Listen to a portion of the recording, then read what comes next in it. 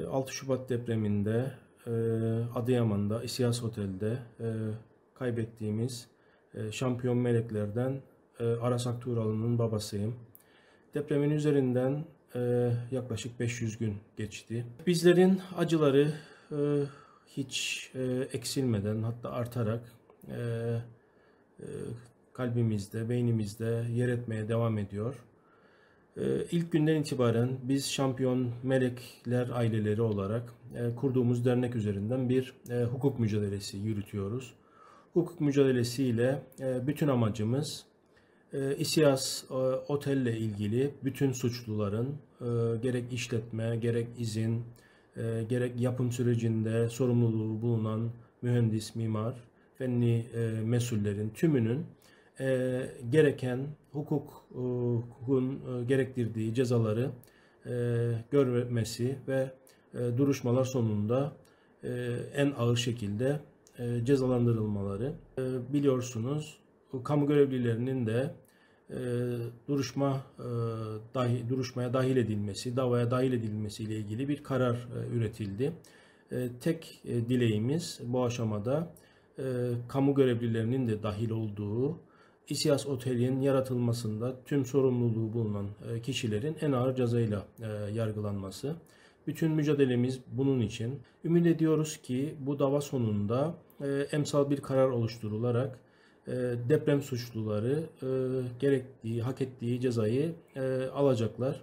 Bizler maalesef hep eksik kaldığımız ilk günden itibaren kutlamalarımızı, e, bayramları e, bir tarafa bıraktık. E, bütün deprem e, zedeler olarak e, bunu net olarak söyleyebilirim.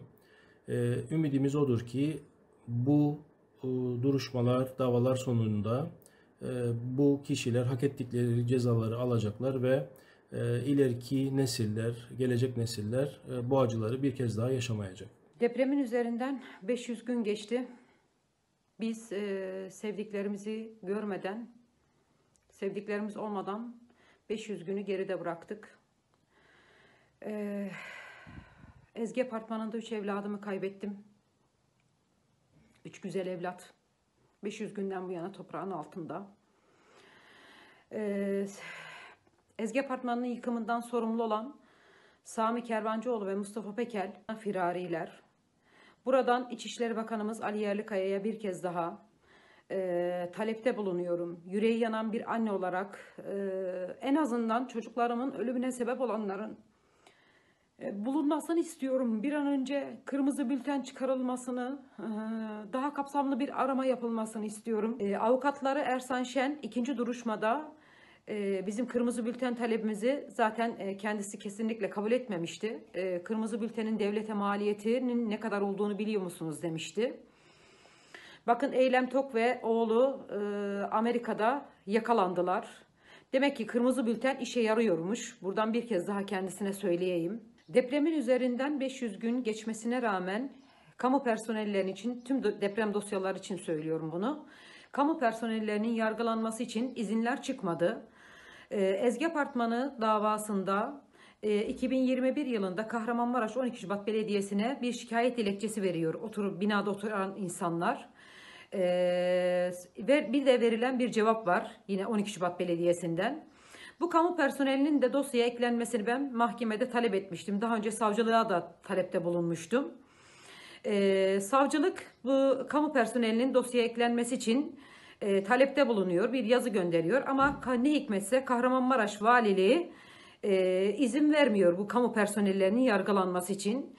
Şimdi soruyorum buradan e, İçişleri Bakanımıza ve Kahramanmaraş Valiliğine e, e, Beşiktaş'taki yangında, e, Antalya'daki teleferik kazasında, yine İstanbul'da başka bir şeyde e, bir yıkımda Geçen geçenlerde bir yıkım oldu küçük çekmecede.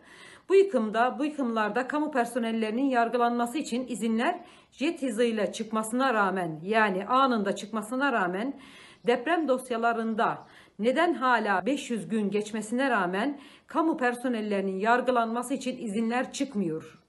Biz buradan yani en azından ben buradan bir kez daha talepte bulunuyorum. İçişleri Bakanlığı'ndan, valiliklerden bu kamu personelleri bu dosyaya eklenmediği süresince bu dosyada e, sorumluluğu olan sadece alttaki bulunan iş yeri veya ne bileyim müteahhiti veya fenli mesulü değil ki. Yani kamu personellerinin de bir an önce izinler çıkıp yargılanması gerekiyor. Bu dosyalara eklenmesi gerekiyor. Özel günler e, sevdiğini kaybeden insanlar için daha zor geçiyor. Yani 500 günü geride bıraktık. Ee, oğlum yaşasaydı bu ikinci babalar günü olacaktı. Asude sonun babalar gününü kutlayacaktım. Ee, evlatlarımdan, evlatlarım olmadan dördüncü bayramı geride bırakıyorum. En azından ölümüne sebep olanlar e, bulunsun, yargılansın ki ben de bir an önce yasımı tutmaya başlayayım. Ben bugüne kadar çünkü e, şehir şehir gezmekten, sürekli bir şeyleri takip etmekten, neredeler, ne yaptılar, e, hangi dosyada hangi karar çıktı diye takip etmekten evlatlarımın yasını tutamadım.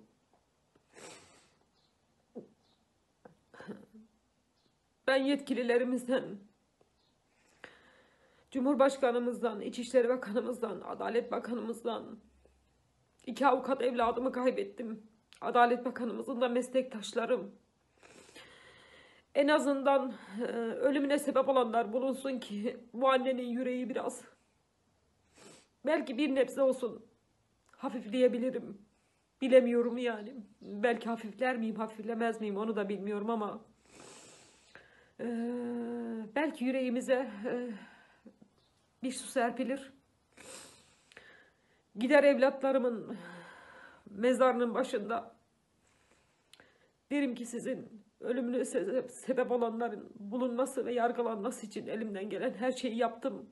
Ve dosyaya eklendiler, bulundular. E, kamu personeller için yargılanacaklar diyebilmeyi istiyorum ben. E, 500 günün sonunda. 500 gündür yavrumsuz yaşıyorum ama nasıl yaşıyorum? 500 gün olmuş. Söylerken ne kadar kolay.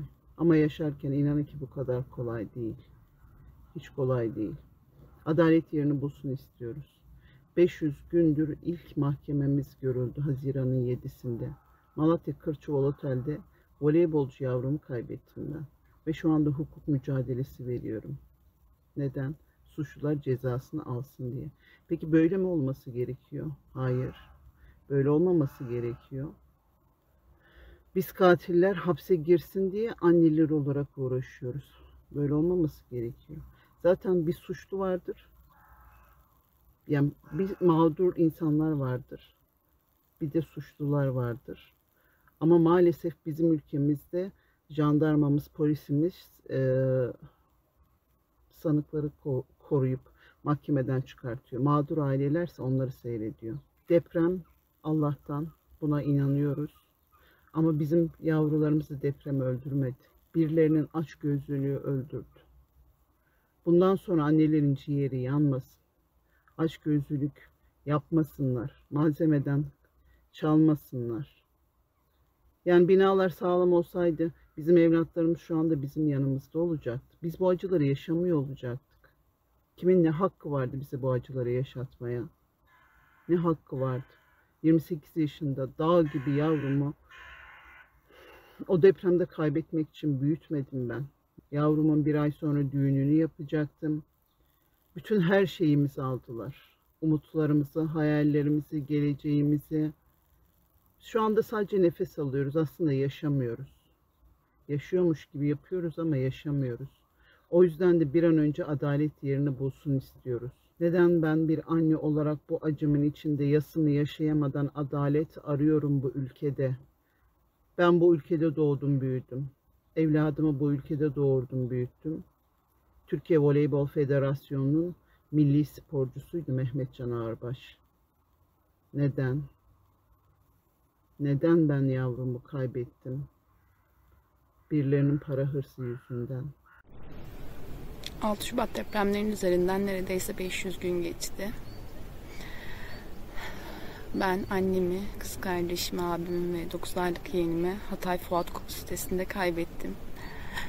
Ve geçen bu 500 gün boyunca soruşturma aşaması e, dahi tamamlanmadı ve henüz e, duruşması görülmedi. Yüreğimizde bu kadar derin bir acı varken e, adaletin sağlanmamış olması bizleri daha da üzüyor. Ve maalesef ki kabul edemiyoruz yaşadıklarımızı, yas tutamıyoruz. Hala bir yerde yaşıyorlar. Hissi ağır basıyor. Çünkü biz mücadele etmekten e, ne hissettiğimizi, ne hissetmememiz gerektiğini, onları nasıl onurlandıracağımızı bilemedik, yaz sürecini yaşayamadık. Talebimiz yakın zamanda 53 bin insanın ölümüne sebep olanların yargı önüne çıkarılması ve adil bir şekilde yargılanmasıdır. Lütfen bu konuda tüm vatandaşlar deprem davalarını takip etsin ve peşini bırakmasın. Çünkü sadece olay bir müteahhit, bir yapı denetim, bir inşaat mühendisliğiyle bitmiyor.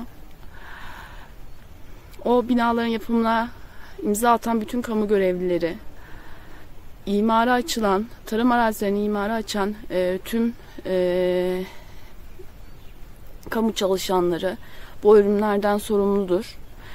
Ve kamu görevleri yargılanmadıkça adil bir yargılanma gerçekleşmeyecek. Çünkü aynı insanlar şu an deprem bölgesinde yeni binalar için imza atıyorlar.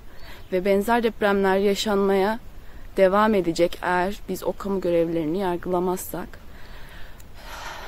İçişleri Bakanlığı'ndan e, kamu görevlerinin yargılanmasıyla ilgili bu izinlerin derhal çıkarılmasını istiyoruz. Çünkü biz tükendik. 500 gün geçti neredeyse. Daha ne kadar bekleyeceğiz? Geç gelen adalet adalet midir bilmiyorum ama tek isteğim var adaletin bir an önce sağlanması ve başka 9 aylık bebeklerin ölmemesi.